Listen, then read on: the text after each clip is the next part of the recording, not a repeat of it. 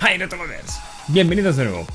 Como viene siendo habitual, cada vez que aparece una nueva actualización importante acerca de un sistema de emulación de los que vamos tocando por el canal, siempre suelo hacer pues un pequeño resumen de las novedades más importantes que trae esta nueva versión.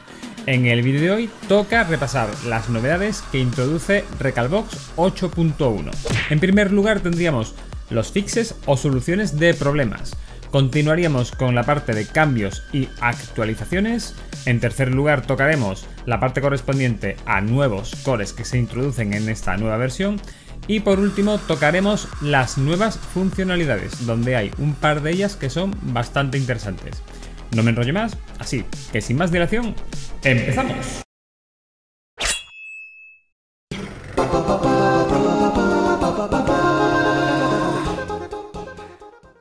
Antes de empezar, un pequeño warning o advertencia, y es que si ya disponéis de una versión de Recalbox que la tenéis configurada y os da lo que necesitáis, mi consejo personal es que no actualicéis.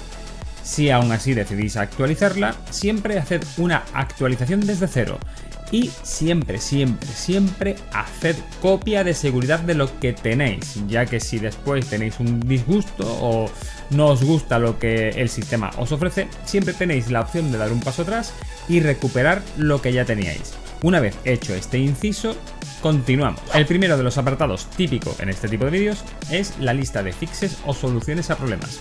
Os voy poniendo la lista completa por aquí al lado, pero de dicha lista yo destacaría solución de problemas del motor de scrapeo, reparación del core MAME 2015 para la Odroid Go Advance y Odroid Go Super, solución de pantallazo negro o no hay señal para las Raspberry Pi 3 y Raspberry Pi 4 y solución de problemas de NetPlay para MAME.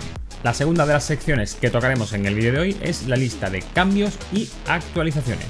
En primer lugar de la parte de cambios tendríamos a destacar los siguientes mejora del procesado de región para el motor de scrapeo, introducción de una alerta si el usuario está utilizando demasiadas ROMs o demasiados sistemas de acuerdo a la memoria disponible y soporte de múltiples mandos Bluetooth para Odroid Go Advance y Odroid Go Super. De la parte de actualizaciones, en primer lugar, evidentemente, la actualización del núcleo de RetroArch a la versión 1.10.0, lo que nos llevaría a una actualización completa de todos sus cores, como serían actualización de Pico Drive, resolviendo múltiples problemas que tenía la versión anterior, actualización del core Beetle de Saturn, que incluirá además la opción para poder utilizar el NetPlay, y por último la actualización del core Parallel de Nintendo 64 para añadir a la Raspberry Pi 4 soporte para 64 bits. En tercer lugar, importante, la introducción de nuevos cores en esta nueva versión de Recalbox 8.1.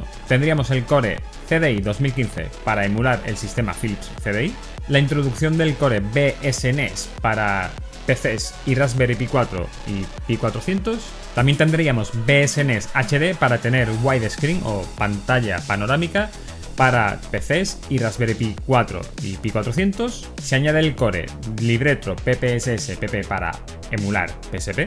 Se añade el core VitaQuake 2 para los dispositivos PC, Raspberry Pi 4, Odroid XU4 y Odroid Go Advance o Odroid Go Super. Se añade el core A5200 para emular Amiga 5200 y se añade un nuevo sistema llamado MegaDAC a través del core del Libretro SameDAC. Y por último dejamos para el final pues lo mejor, las nuevas funcionalidades, los temas más punteros que vienen de la mano de este Recalbox 8.1. Se añade soporte para las carcasas Argon, Retroflag y Nuxi. Se añade la funcionalidad de apagado para la Pi 400 a través del botón función más F10. Dentro del sistema Recalbox se añade Game Filter para poder filtrar en función de múltiples criterios dentro de la lista de juegos que tengamos. Se añade soporte para tarjetas gráficas integradas de Intel, evidentemente para PC. Se añadiría la función de Retro Achievements para Amstrad CPC, PSP, Dreamcast, Atomic Wave, Naomi y Naomi GD.